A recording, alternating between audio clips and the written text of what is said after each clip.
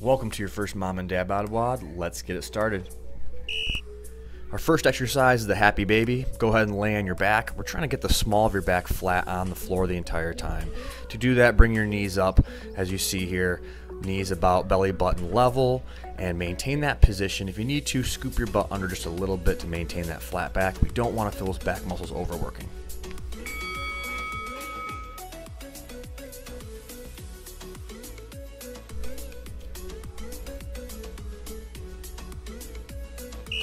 For the goblet squat, hold that weight in front of your heart. You want to sit your butt back like you're being karate chopped in the hips and sit back down into the chair. Just make sure your knees are staying over your feet, not going in or out, and that those knees aren't diving way forward into your toes, which won't happen if you're thinking about sitting back into a chair.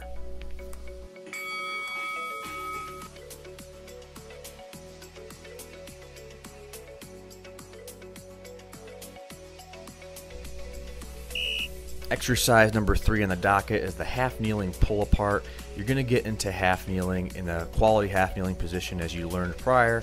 Grab that band of resistance of choice and simply pull the band apart as far as you can and keeping those shoulders down away from your ears.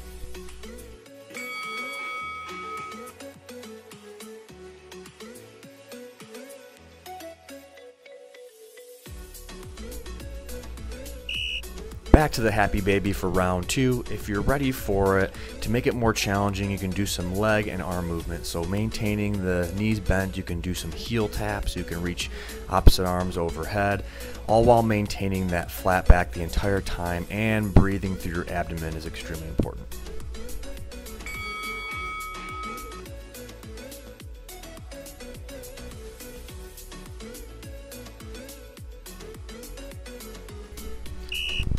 More tips for the goblet is to make sure your feet stay completely flat. So the entire foot needs to stay flat on the ground so it's not arching or you're not lifting the heels or the toes. Full uh, foot flat. Also, if you're having trouble sitting back into the chair, put something behind you or literally sit back into a chair and stand up for support.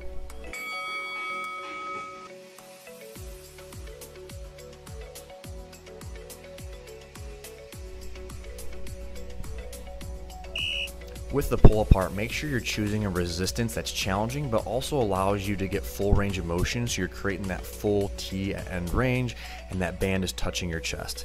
Keep those shoulders down and make sure you're not arching your back in order to get some more of that stretch. You're not pushing your chest into the band, you're pulling it apart.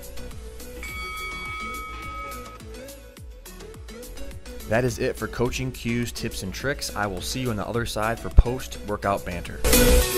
Thank you.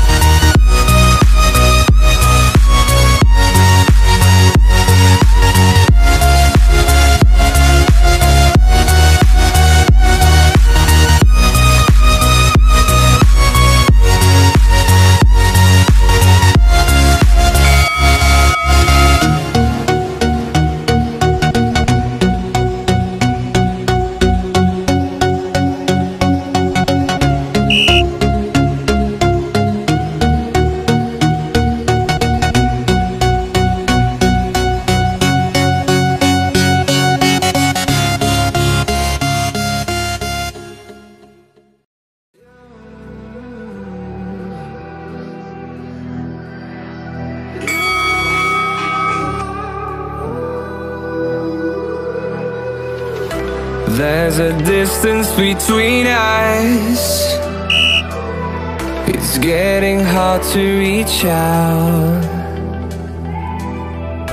Haven't seen you in seasons, but all I hear is your voice. I know my limits, you can break me down, but I'll stay till the finish line. And I've been counting minutes for quite some time now, just to see you again. And I've been counting days to get away,